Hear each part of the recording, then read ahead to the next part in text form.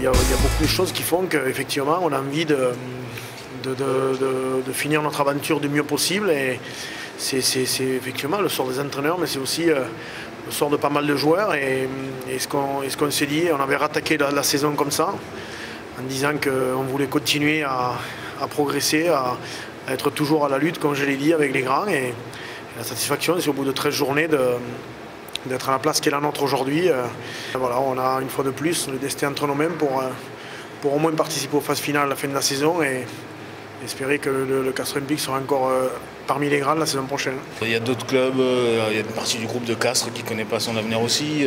voilà, c'est comme ça, c'est pro.